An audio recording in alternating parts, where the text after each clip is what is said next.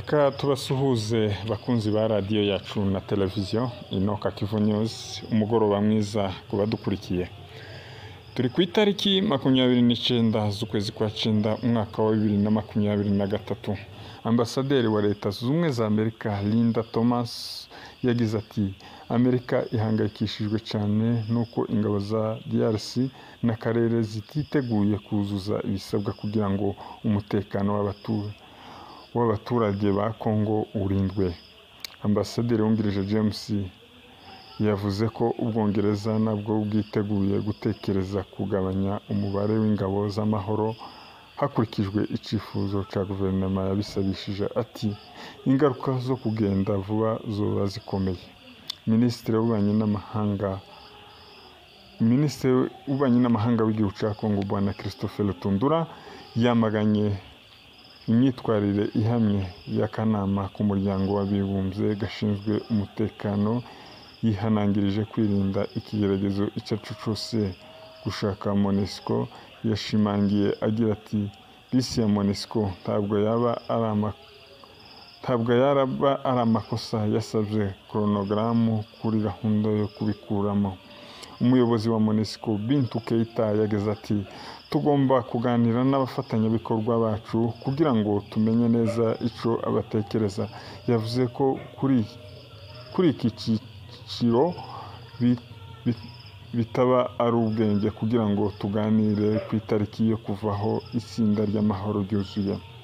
Kuva mu mwaka wa bibiri na makumyabiri akanama gashinzwe umutekano katangiye gucika intege.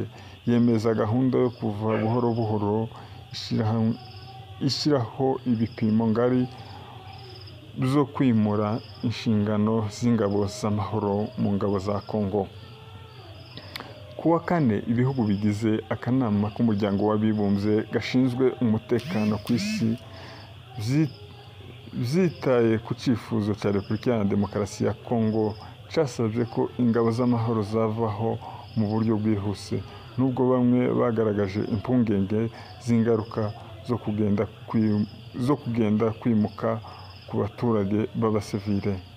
Mu cyumweru gishize muri loni perezida wa Congo felix Tshisekedi yashimangiye ko igihugu cy'umuryango w'abibumbye gishinzwe kubungabunga amahoro mu gihugu cye monisco kuva mu mpera za bibiri na makumyabiri na gatatu bitarangiye mu mwaka wa bibiri na makumyabiri na kane.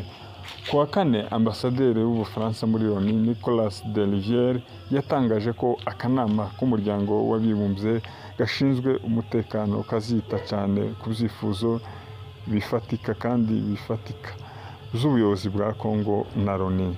Ingabo za monisco zimaze imyaka igera kuri makumyabiri n'itanu ziboneka muri drc kandi inama njyanama igomba kuvugurura manda ya monesco mu kwezi kwa cumi n'abiri. Ibyo bikaba byiza kinshasa ndetse no mu marushanwa y'abaturage. Mu ruzinduko guverineri w'intara ya kivu y'amajyaruguru bwana peter kirimwami nkuba akomeje gusura uduce dutandukanye tw'intara ya kivu y'amajyaruguru. Kuri uyu munsi yiriwe mu duce twa kibati na kirorirwe ubwo yari avuye mushaki mu ruzinduko rwo gusura ingabo ndetse no kuziha morale n'amabwiriza masha y'uburyo bagomba kwitwara mu rugamba barimo rubahangayikishije n'umutwe wa M makumyabiri na gatatu. Akaba yababwiye akaba yabwiye abaturage gukorana bya hafi n'igisirikare ndetse n'igipolisi kandi anasaba ingabo ze kwitwararika no kuba maso ndetse akaba yabijeje abaturage ko bagiye kongera kwisubiza uduce twose twagenzurwaga na M23. Akaba kandi yababwiye abaturage ko agiye kugarura ubuyobozi bwite bwa leta mu duce twa mushaki ndetse no mu turere tuyikikije. La police a pour mission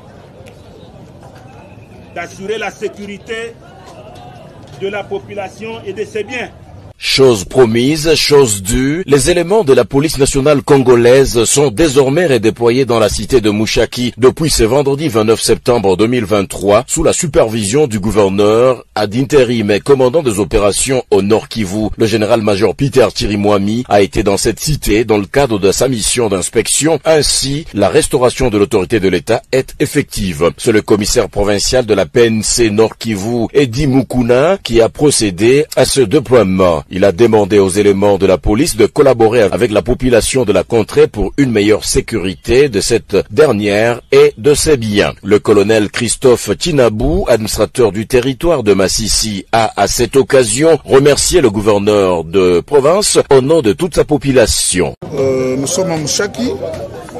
C'est depuis la semaine passée que son Excellence, Monsieur le gouverneur de la province, était venu ici rendre visite à la population de Mouchaki.